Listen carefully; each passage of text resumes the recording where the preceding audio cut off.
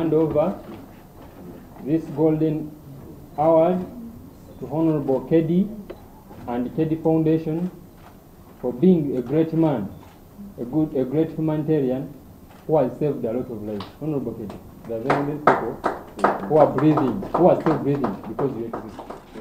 There are very many people. To be open, we have not benefited in the current minister for youth.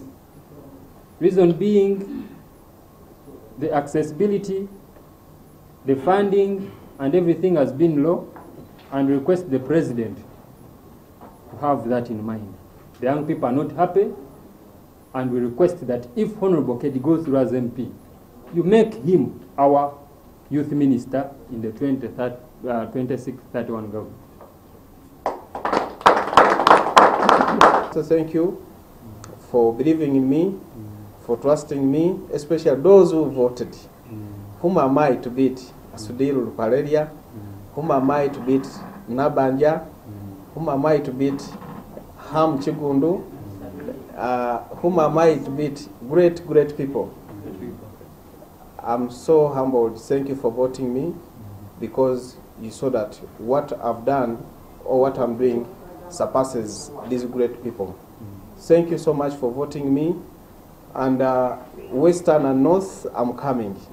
2024. We are coming because we are here to serve humanity in all regions. We've been in East, but this year we are going to focus in other regions.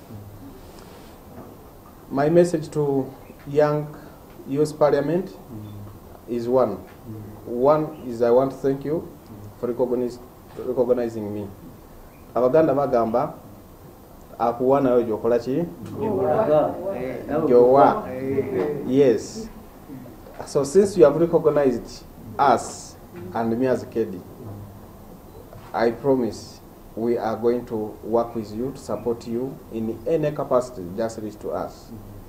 And uh, it's my pleasure that uh, we already got the investors who's willing to build a youth parliament and we need the land. Just identify the land. We shall make sure that we contribute and we have the land, and we build a center, a parliament for the youth, Headquarter. headquarter, because youth are the biggest voters or numbers in Uganda, and they're the next leaders.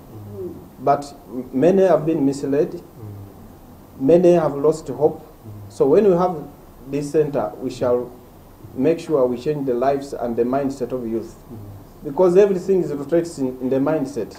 He goes to parliament, not only parliament, becomes the minister for youth, what we want. This is the footage you bring out, where the struggle started from. Thank you.